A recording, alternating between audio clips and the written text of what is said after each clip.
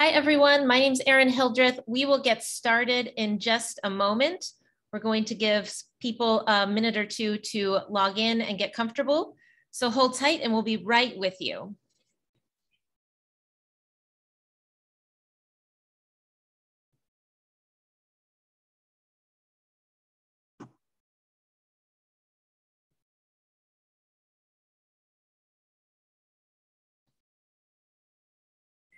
Okay, and away we go. Thank you for joining us today for our second session of our three-part back to school webinar series. Welcome back to those of you who joined us last week, and thank you to everyone who's joining us today. Like I just mentioned, my name is Erin Hildreth. I'm part of the responsibility.org team. And before we get started, uh, and just like last time, I wanna let you know, you probably heard it, but um, we will be recording this session today. It'll be available on the responsibility.org YouTube channel uh, later today or early tomorrow. And then we will also send out the links to all three of our webinar sessions after the conclusion of the third session, which is next week, September 15th. Everyone is on mute at this time. And if you have a question during the session, please enter it into the Q&A box, which is right next to the chat box, because that will help us address your question a little bit more easily. For those of you not already familiar with responsibility.org, I'm going to take just a moment to tell you about our mission and values. Our mission consists of three main parts. We work to eliminate underage drinking. We work to eliminate drunk driving and work with others to eliminate all forms of impaired driving. And we work to empower adults of legal drinking age who choose to drink to do so responsibly. Over the past 30 years, we've made great progress on all three of these missions. We have not done it alone because we all have a seat at the table of responsibility, and responsibility starts with each one of us. Responsibility.org values conversations that lead to a lifetime of healthy alcohol choices. And we know that not every conversation is about alcohol. We have a social responsibility as well to be good citizens and good humans and to raise our kids to be the same. Uh, last week, when we met, there were still a few people with kids who had not yet started school. Now that Labor Day has come and gone, I think we've all jumped into the classroom, the dorm room, or whatever your kid's situation may be this school year. Any way you slice it, we are back to school. And back to school is not just a day, it's a season. It's not a moment, it's a series of events. New friends, new rules, new guidelines, and that all leads to new conversations. So really excited to bring this back to school webinar series to you, starting with last week's session about connecting with schools and the refreshing focus on the social and emotional learning of all kids of all ages. And we're continuing today with something that's been on all of our minds over the last year and a half, mental health. I would like to introduce our panelists and moderator who have been generous with their time today and especially generous with their expertise. And these panelists include Dr. Mary Alvord, psychologist, founder, the founder of Resilience Without Borders, and co-author of Conquer Negative Thinking for Teens. Dr. Katie Friedman, a pediatric ER physician, an influencer at foreverfreckled.com, and a responsibility.org National Advisory Board member. And Kier Gaines, a therapist, a mental health advocate, internet personality and member of the responsibility.org parenting influencer team. So I'm going to now pass the floor over to Julianna Miner.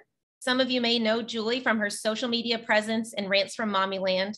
She's not only an amazing person, but she's also honest and refreshing, bright, and funny. In addition to that, she is a longtime friend of responsibility.org and a parent herself. She's the author of Raising a Screen Smart Kid, Embrace the Good and Avoid the Bad in the Digital Age. We're honored to have her here. We're honored to have our panelists and we're honored to have all of you. Julie? Hi, everyone. Thank you so much for joining us. Um, thank you to all of our panelists for participating, and thank you to responsibility.org for hosting us all. Um, let's get started talking about how our kids' mental health is doing. The past year, uh, the past year and a half has been really difficult on everyone. And there's a lot of data indicating that um, kids as young as five are experiencing some mental health setbacks and challenges. What are you seeing uh, both in parents and in kids? Can we start with you, Kier?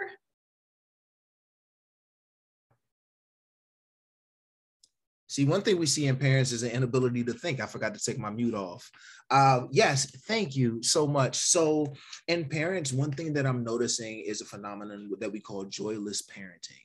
And what happens in joyless parenting is when you are at a state of exhaustion to the point where you don't enjoy the normal things that you enjoy about parenting. Self explanatory, right? But uh, the downside is less patience for and with your children, a higher likelihood of having burnout at work, and an inability to set borders and boundaries between work and home. And it is really stressing a lot of parents out. Conversely, children, uh, we have a tendency to scale down sometimes their issues um, or minimize them because they have less responsibilities than adults, but they just have a different scale of the same size issue to them. Uh, it's like it's like tax. Tax is ten percent on a dollar. Ten percent doesn't seem that bad when it's a dollar, but if all you have is two dollars, then that that ten percent is a lot of money. Um, so with that being said, with children, I'm seeing a lot of avoidance behaviors starting to peak, particularly around education, particularly around social interactions that are of the Zoom, Microsoft uh, Teams WebEx nature. What were you saying about not being able to think and unmute yourself in a good, in a timely way? I totally am seeing that too. Um, those are really great points. Mary, do you see those same things happening in Dr. Mary, I should say, in older kids as well? I do, you know, and I would say parents have felt, I'll, I'll, start with the parents a moment just to piggyback to what was said, because I've also found parents are not only exhausted because they were trying to virtually work and handle all that was going on at home. And often we're taught as parents to put our kids first. And I always use that perhaps overused you know, a little visual of put your oxygen mask on first to really then be able to help. And with older kids, of course, they're working on independence. So I want to say teens and college age students, they're rearing to go. And here, what happened was they were really put in a stall mode. For the high school students, it was inability to engage in all those outside activities. And what's more important to a teen is their peer group and just hanging out or doing sports or doing anything. And the mental health toll was the the isolated feelings of isolation and of pers- anxieties of not feeling accepted because you didn't have that peer group and the constant feedback. For the college students you know, all of a sudden they were looking forward to their freedom and their independence and their acceptance, perhaps if they were, you know, doing and experimenting with certain things. And suddenly they were back in their rooms. And uh, so, again, not knowing how to navigate virtual school, it took a tremendous toll. And just to add one more thing, I think for college students, even now that they're getting back, and for teens, it's how long are we going to stay back? You know, are they going to have to shut down dorms? And how is that going to work? And for teens and children too, I think we're still, uh, the toll of uncertainty is continuing. So we have to keep that very much in mind. It's not just what happened, but what it's continuing to happen. I think you make a really good point because all of that uncertainty um, is really anxiety producing for a lot of people, both adults and, and kids. Dr. Katie, what are are you seeing similar things? Um, and what are your thoughts about specifically how parents are handling everything? You know, it's it's interesting. I'm in the I'm in the pediatric emergency room. So when people come to the pediatric emergency room, it's usually it's usually under a heightened stressful situation. But what I'm seeing with a lot of my adolescents or my teenage um, children that are were suffering from you know alcohol abuse, depression, suicidal ideation, which is on the rise. And in the beginning of this pandemic, I said this is a pandemic that we're not even talking about. You know, this is mental health is really in its own is surging in its own pandemic. And I think a lot of that, I'm going to piggy off both of my panelists by saying that, you know, there's, it's twofold, right? So parents are overtired, they're frustrated, they have their own stresses, and they're trying to manage working from home and also helping you know their children and so as you said the back to the like instead of going to school they're back in their room well, a lot can happen when kids go back into their room. A lot can happen when kids are kind of left to their own demise, and that we've been struggling and fighting, you know, to try to control the social media. And now we're in a pandemic when we really can't leave the house, and all of a sudden that has come to the forefront. And I've seen a, a drastic um, correlation between the amount of social media use and the amount of screen time and you know children that are depressed because they don't get that break from social media like they do in the school year. So in, in, in the school day when they're at school. So we see a lot of parents that are frustrated and i would say almost surprised to see that their children are suffering as much as they are. And i would say that that also is a result a direct result of a almost like a lack of communication because of the fatigue that's occurring. Because everyone is in such a heightened stressful situation that they're dealing with their own stuff and not necessarily you don't see as much communication as maybe we did see before where it was dinner time and we were talking about our highs and lows of the day because everyone's just scrambling to kind of get done what they need to get done within the four walls of their house um, and so a lot of parents, I think, are kind of taken back to see that their kids are struggling.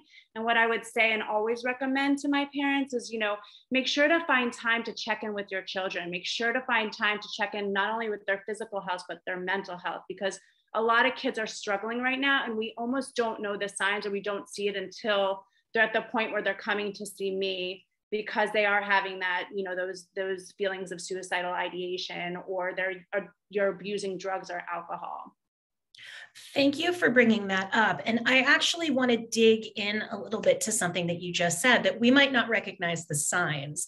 So, can we talk a little bit about what some of those red flags are or signs that our kids are struggling? I know that there are some parents who have a really difficult time teasing out what is a bad week and a and a bad problem? What is a new developmental phase or a, a change in their well-being that that needs further attention? Um, so can you talk specifically about some signs that parents should be looking for? Mary. Sure. Oh, Mary. Okay. okay. so, you know, my key is a behavior in and of itself doesn't signify that it's a, you know a struggle. So there may be waves of some sadness that we can talk through and figure out what is going on that may actually be very real and relevant and appropriate because they're missing their friends or there's you know let's not forget there's loss of life that has happened that has impacted many many hundreds of thousands of people and the ripple effect but what I say to parents, signs your children are travel struggling or look at sudden changes in behavior. And you know, Kier mentioned avoidance, avoidance, withdrawal, isolation. That's been a little bit difficult to parse out during the pandemic when naturally we had to do more isolation and there were so many restrictions but look at you know is your child reaching out to friends? How are they reaching out to friends?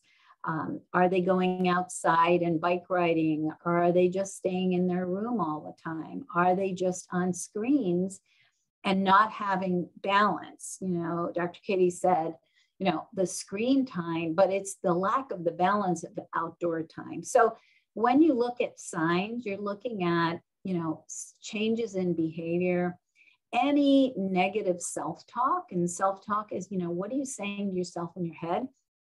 And what are they articulating? Kind of negative self statements what's the frequency of it you know and what's the intensity? So again it's not just the behavior it's how much how intense how often and um, my big thing is is it getting in the way? So some signs are even the sleep, it becomes very dysregulated. We need enough sleep to think clearly.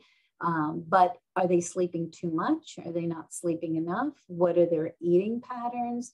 In addition to looking for any signs of self-harm? Are they wearing long sleeves and it's hot out?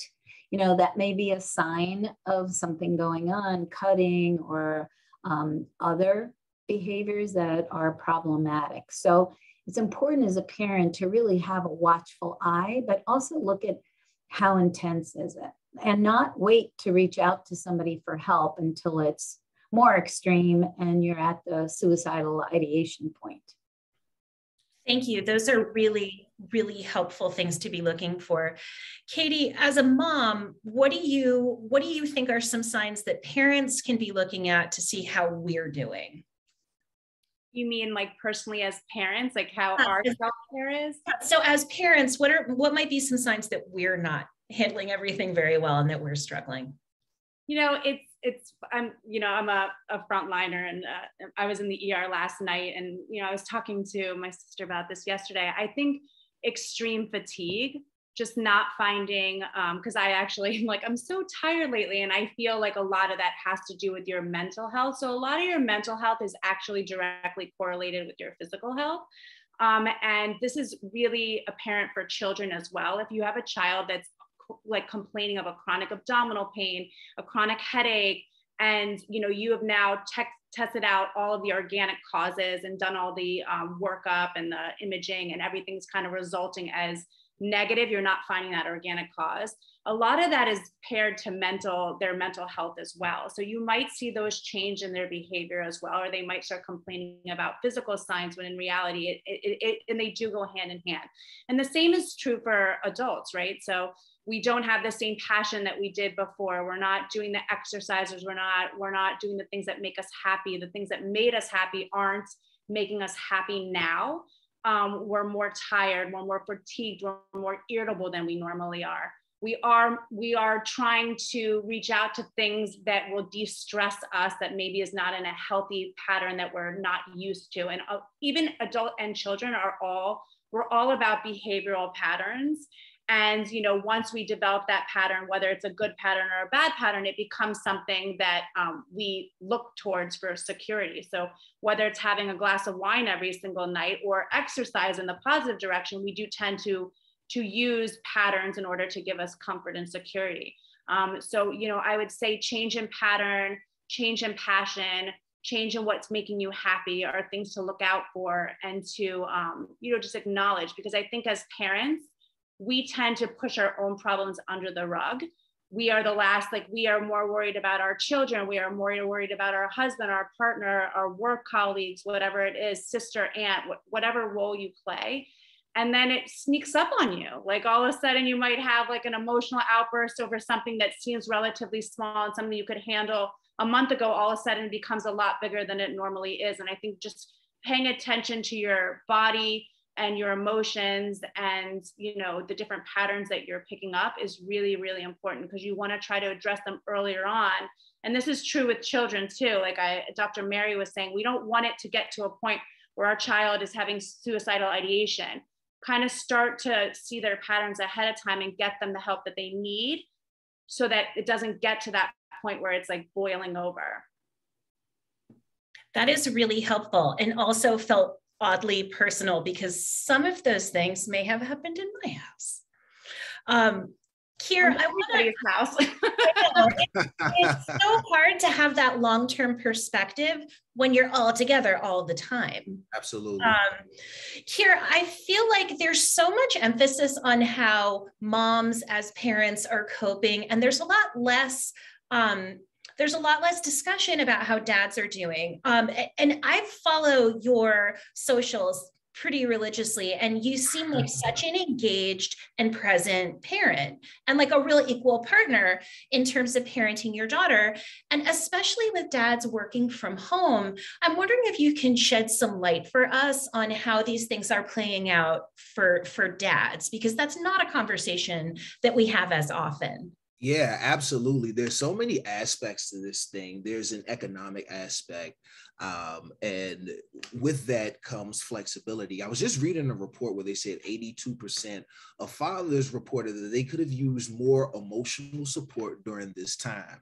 And it's not just by chance that the emphasis is on moms, because moms, the research has shown that moms and women have been most severely impacted by the pandemic. Um, a large percentage of women have left the workforce. Childcare becomes the sole burden of the woman in the house. Uh, it's just unfair to moms.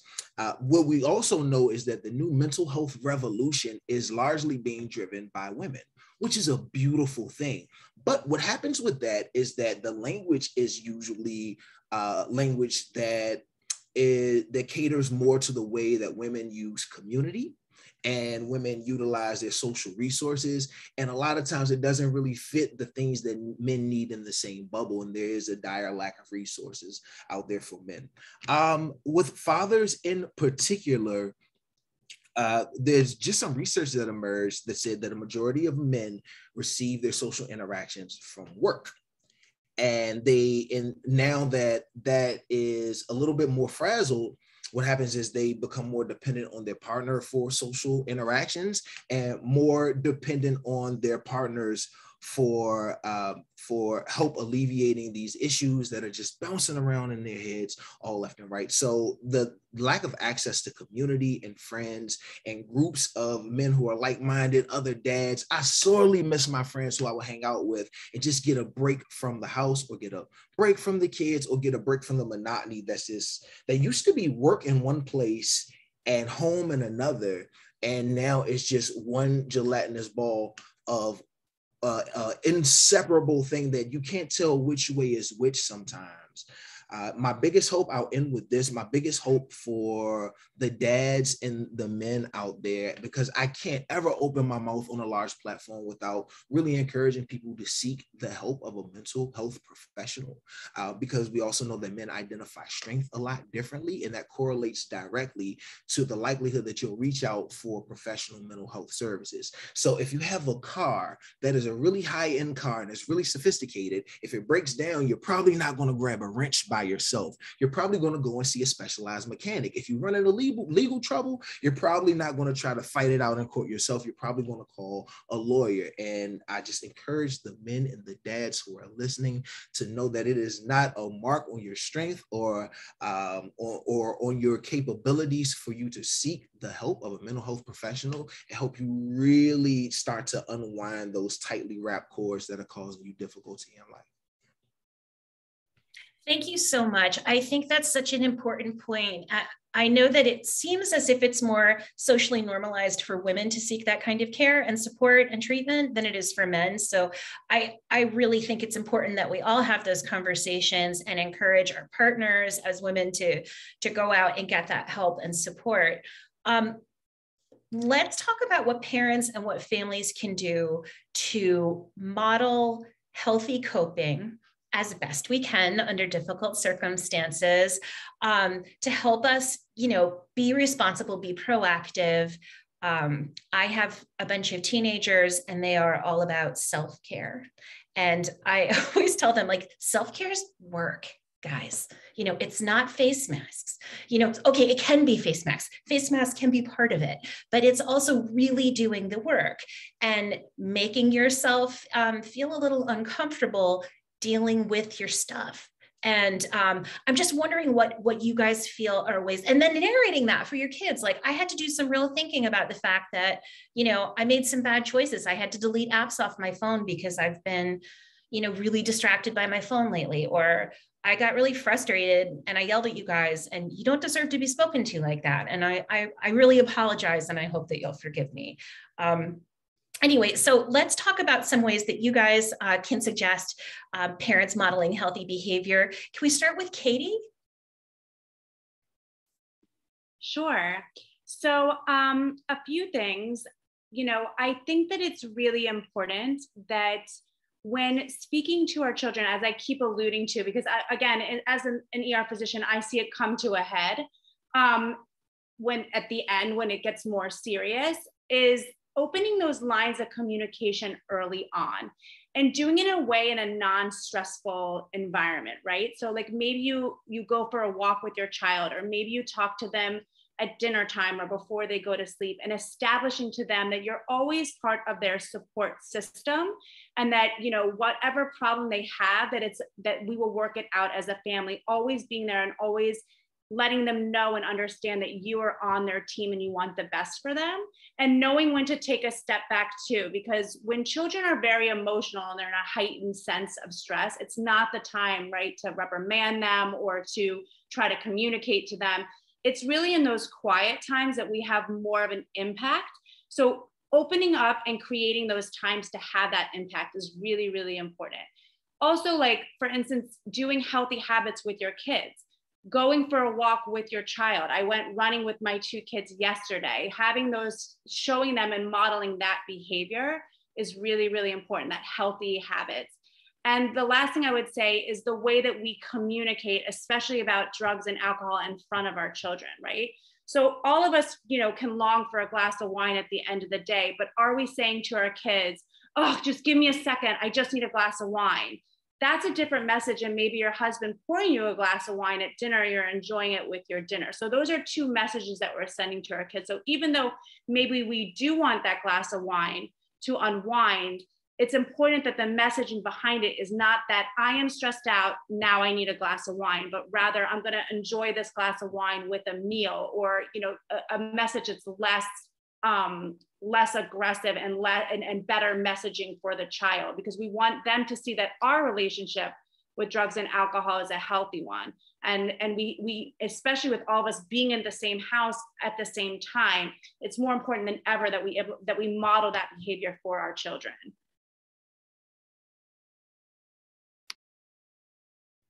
Thank you. Thank you. Um, Kier, what are your thoughts about modeling healthy behavior and, and doing it in a way that we are showing our kids some proactive and healthy ways to, to take action? Yeah, I think you hit the nail on the head earlier when you were speaking about transparency.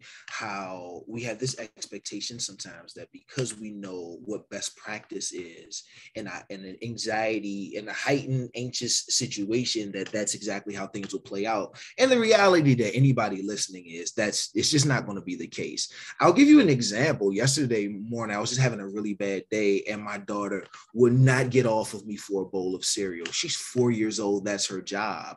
But that doesn't always make for the best situation when you have a person who's at a high heightened sense of stress and you have another person who's at a high heightened sense of need. They usually clash together like uh, like ships in the night that crash together. Uh, so I say all that to say uh, the transparency of saying, hey, you know, daddy yelled yesterday, and that's not how we express the way we feel, is it? We come from, I myself come from a generation where I thought my mom was a superhero. I thought that she could handle everything, that she never really got upset, that she never really struggled, she never really cried. And it's re- really healthy for our children to see us as adults, as authoritative figures in their lives, to express outwardly a healthy range of emotions. That includes the ones that we may not necessarily love. Uh, so just going back when you lose your temper or when you're not at your best moment, uh, going back and explaining that, explaining the why and having a conversation about it. Now, that's idealistic. You're not going to have a sit down conversation with your child for every every time that you may lose your temper or lose your cool or just be not in the moment to really be fully there. Um, but separating yourself from the guilt and the shame of not being a perfect person in every situation really helps you to come to a moment where you can admit that this is what happened and it's not absolutely right, but I'm a human. And the next time that it happens, I'm going to try to handle the situation a lot better and even include them in the thinking process. What do you think about that? And that makes more, that makes for more of a communal approach to mental health where your child just doesn't see the beginning and the end result. They actually get to see the middle processes and what goes on in between and how you're a complete person, which models what being a complete person looks like for them in the present and most certainly in the future. Yeah, I, I I really love that. I also feel like there's a degree of mutual accountability, right? When we're having those conversations. And even for a kid as young as four, like your little nugget, like that that really gives her a sense of agency, right? If she's allowed to observe your behavior and provide some, you know, some feedback on that, like, okay, yeah, you did, but you apologized, so it's cool. Yeah, absolutely. And it teaches her how to handle that conflict. And it all it teaches her that conflict isn't always a bad thing, which is a wonderful tool to carry into mm. Adulthood. It's a it's a it's a topic for conversation and it's a platform by which we spring a multitude of different conversations, but it's not always a bad thing.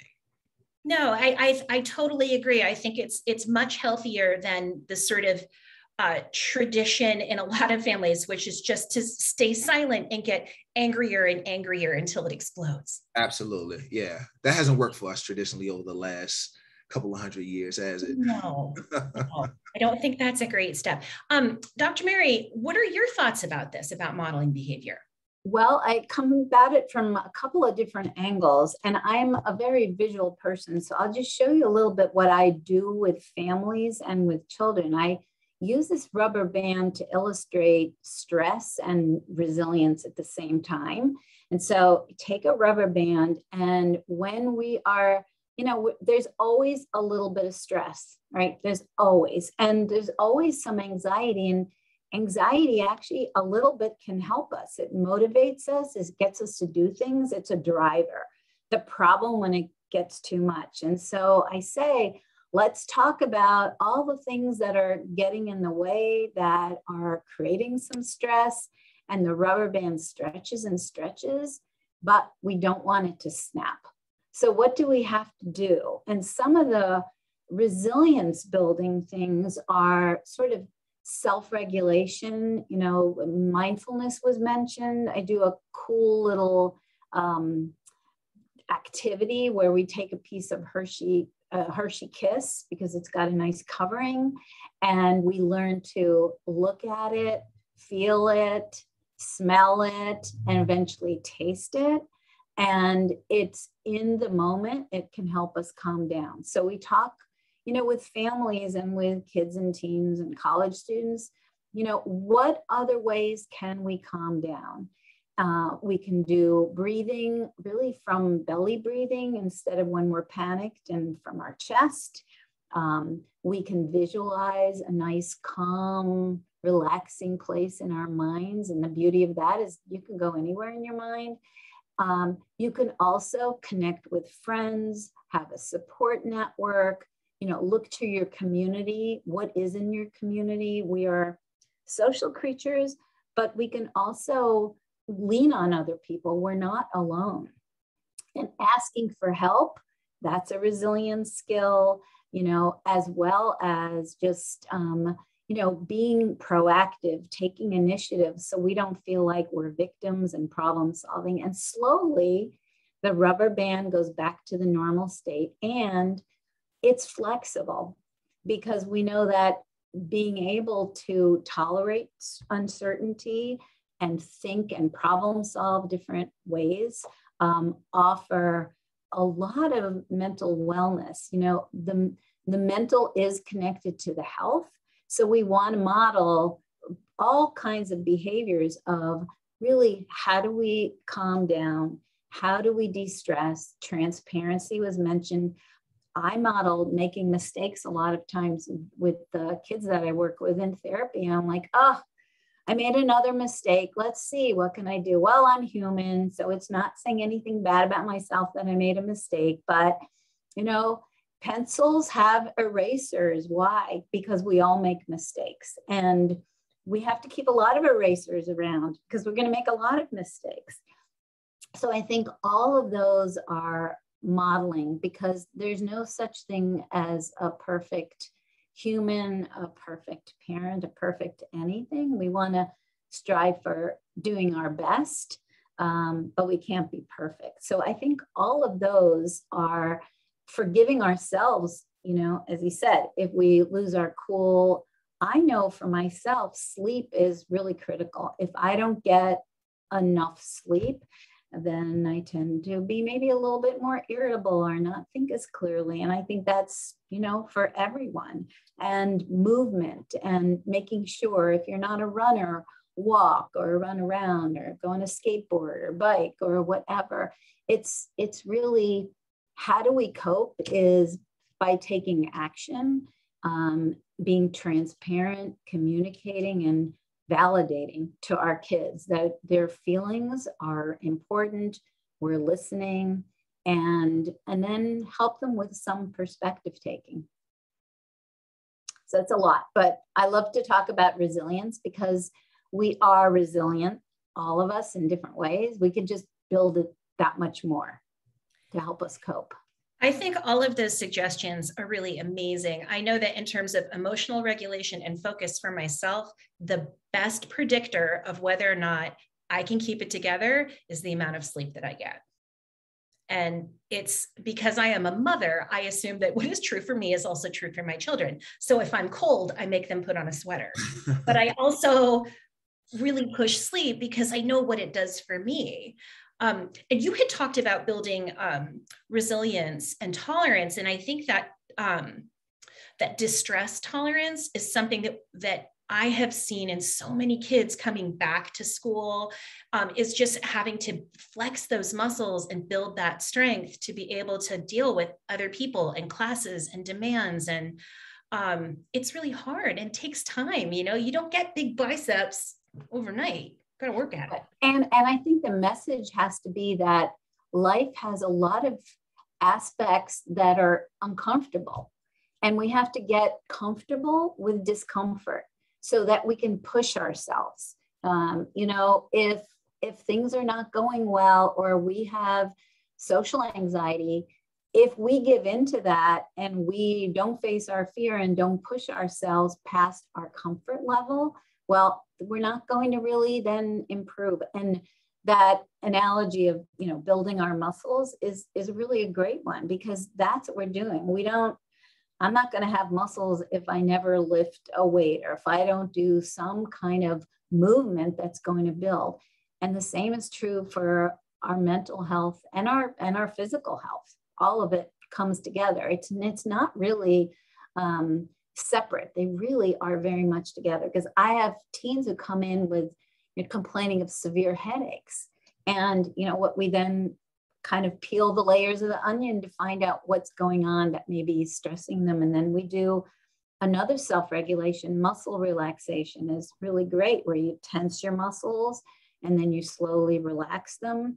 And little by little, you learn the difference between how the muscles feel when they're tense and when they're relaxed so that then you can catch yourself and actually do it's called progressive muscle relaxation if anybody wants to look it up it's it's been around for many years and even seems to have positive effects on our immune system so that's outstanding.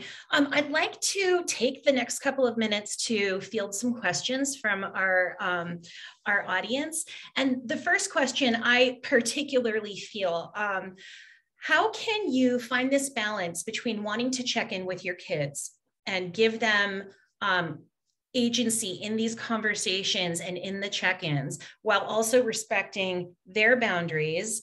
And you know if they're telling you back off how can you you know how can you respect that back off knowing that it could be pushing you away because there's a problem? It's so i mean i'm i'm in teenager mindset that's real common. When you want to have a mental health check-in I, I often will hear please stop. Just you're being cringy. So i'm i think this is a great i think this is a great question. So um katie do you think do you want to start with this yeah, I think it's establishing that relationship in those cringe, non-worthy timeframes. Again, like it's like being, it, it's just allowing your child to understand that you're always there for them when they want to talk to you, and establishing that at a time when it's a, not a stressful time. So, you know, just I'm always here. I'm always here to listen. You don't have to, you know, you don't have to feel forced to tell me right this moment. But when you calm down, you know i'm always here i'm always a listening ear. And then as dr mary said is also is that just a moment in time and space where they're having a really a very stressful time? And maybe they do need that space and they do need you to take a few steps back in order to kind of work it out themselves? Or is this becoming a pattern? Are you noticing things in their behavioral patterns that all, all of a sudden are becoming concerning? So is it that one time or is it a pattern? And if it does become a pattern you know giving those tips and those tricks ahead of time and and working through it before it becomes a big problem in the end like i do feel especially from a physician um, in the emergency room setting standpoint that mental health um, there's not a lot of resources that parents know about um, ahead of time, right? It's almost like when they get to that point, then they're looking for a psychiatrist or a psychologist, and these and the and our mental health community is so um, overflowing right now and has a lot of pressure on it that sometimes these children don't get an appointment for a month to two months out. So finding those resources, becoming your child's own advocate, finding those muscle relaxations, the tips and tricks in order to help them along the way when they're in a calm setting is is really really helpful. And again it's between finding is this an is this an a, a isolated event? Is this a stressful day or is there a pattern going on and i think that that's really important to make that distinction um, I think that that's fantastic, right? The idea that you're looking both at what they're saying and what they're doing, because sometimes behavior is communication, right? Especially when our kids lack the um, maybe the vocabulary to tell us how they're really feeling. Um, I want to ask here, you had talked about how overwhelmed, um, Katie had just talked about how overwhelmed so many mental health care providers are right now. If you suspect that your kid does need help, what are some steps you can take to find someone? And I specifically, how can we it's hard to find any provider, especially finding like a great one, right? At this point, so many families would be lucky just to get an appointment. But when you're talking about a kid who needs someone who can affirm them, maybe your kid is neurally atypical or um, uh, you know lgbtq plus or is dealing with you know racism at school and it's being minimized like how can you help find them a provider who affirms their experiences and understands what they're going through and gives them the tools to deal with it? That's a really good question. Unfortunately, we're not in a space where you can do a lot of that work preliminarily.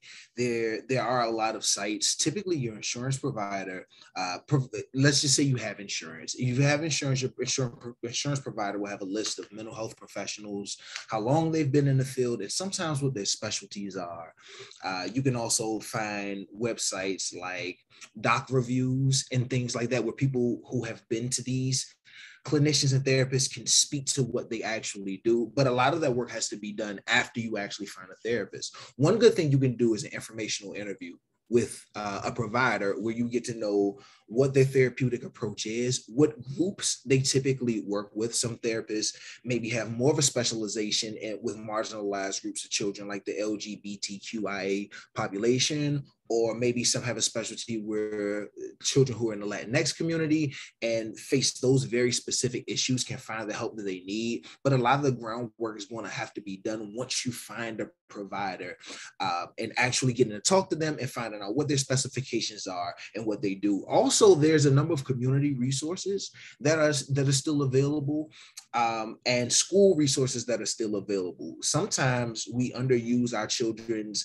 guidance counselors and the counselors that are inside the school building. They usually know our children very well. They have a very close connection to the age group. They're not often clinically trained, but there, there is some uh, social troubleshooting, if you will, that they can do with the students that'll really help mitigate some of the issues that they're facing. And ultimately, parent involvement helps. Sometimes you could be mom, you're doing a lot. I need you to give me 10 feet.